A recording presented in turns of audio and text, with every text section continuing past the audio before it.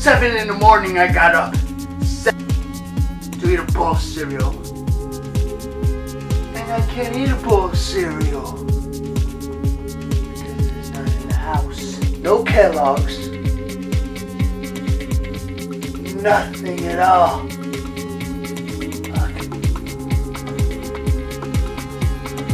Like I ate a bowl of cereal? Maybe a little bit. But that's beside the point.